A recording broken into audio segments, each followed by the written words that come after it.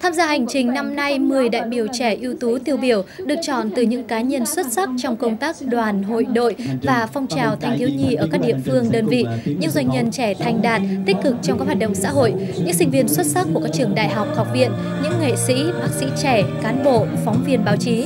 Hành trình sẽ tới các điểm đảo trên quần đảo Trường Sa, nhà giàn DK1 và tham gia các hoạt động xã hội với chiến sĩ và nhân dân trên đảo. Hành trình tuổi trẻ vì biển đảo quê hương năm 2013 với chủ đề Khát vọng thanh niên vươn ra biển lớn do Trung ương đoàn phối hợp với Bộ Tư lệnh Quân chủng Hải quân tổ chức nhằm tuyên truyền giáo dục thế hệ trẻ lòng yêu nước, tình yêu biển đảo, ý thức trách nhiệm trong giữ gìn chủ quyền biển đảo.